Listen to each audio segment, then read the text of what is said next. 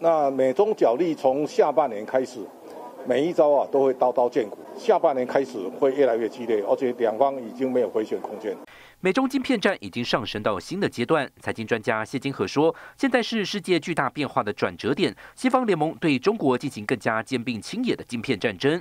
哦，中国的经济可能会发生很大的问题，包括房地产的调整。”然后呢，包括人民币的贬值，包括资金的流失，我相信这个都是接下来我们可以看得到的发生的事情。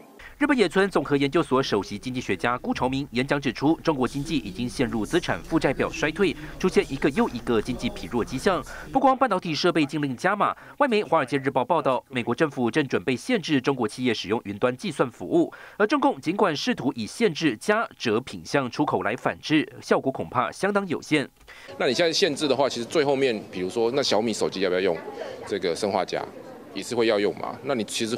到最后面很有可能回头还是达到自己的这个消费性产品啊，我所以我觉得这个措施本身，我觉得呃宣示性的意义比较大。台湾现在如果能够跟中国脱钩，我相信会发展的更好。所以我们今年看到台湾有一个亮点产业，这个亮点产业叫 I A I 伺服器。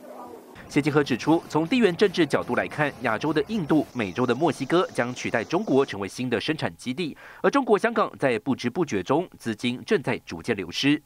现在是曾一豪、沈维彤，台湾台北报道。